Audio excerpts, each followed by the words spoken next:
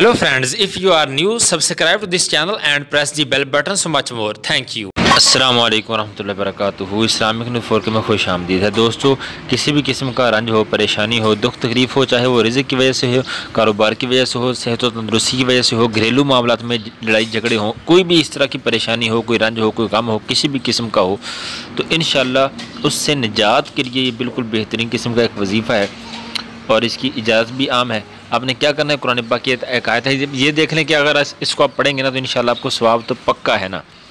और इन अल्लाह पा ने चाह तो परेशानी भी दूर होगी। रंज आपके दूर होंगे। करना है आपने क्या है? व उफ़विद अमरी इन बसीरम बिलबाद ये आपको लिखा हुआ नज़र भी आ रहा है। मैं इन मज़ीद लिख दूँगा। ये सूरह मुमिन है। इसकी आयत नंबर चौतालीस है। आपने क्या करना है? इशा की नमाज़ के बाद अव्वल आखिर दुरुद पाक पढ़ना है।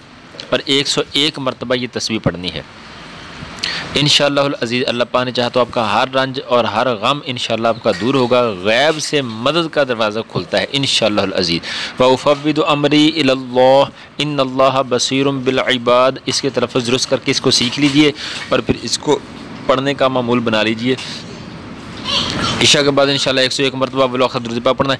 इन अज़ीज़ जल्द ही आपकी परेशानी, जो भी होगी इन वो परेशानी, गाम रंज किसी भी किस्म का होगा तो इन वो अल्लाह पाक ने चाह तो ज़रूर दूर होगा और खुशहाली आएगी और इन हर किस्म की तंगी, परेशानी, दुख, तकलीफ़ दूर होगी।